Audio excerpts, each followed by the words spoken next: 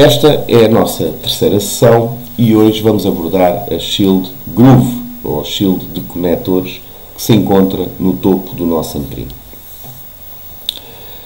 Gostaria de fazer referência a um interruptor que se encontra, este que eu estou aqui a apontar, portanto, neste caso está apontado para 3,3 volts, mas que nós devemos colocar este interruptor em 5 volts, devido ao facto de existir alguns sensores que necessitam de 5 volts para poderem trabalhar. Uh, um segundo aspecto que eu gostaria de referir é que nós, na, portanto, na programação do Arduino convertemos as portas analógicas em portas digitais. Isto porque a maioria dos sensores do Amprin são digitais, portanto não é necessário termos portas analógicas, e para evitar ligações nas portas digitais D3, D4, D5, por aí fora, porque muitas são, já estão usadas pelos, pelos controladores do motor.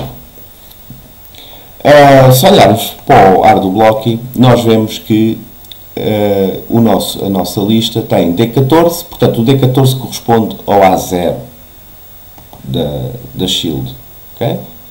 O, o D o D15 corresponde ao A1, o D16 corresponde ao A2 e por aí fora até ao D18.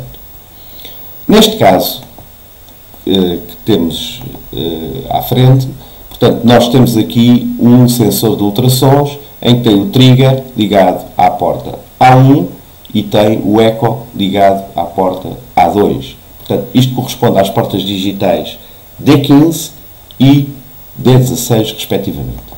E é o caso aqui, portanto, eu só basta-me definir apenas uma no, no, nosso bloco, que ele depois no código vai colocar a porta imediatamente a seguir. E pronto, é assim que nós temos, podemos fazer as nossas ligações usando sempre, como, portanto, usando sensores digitais.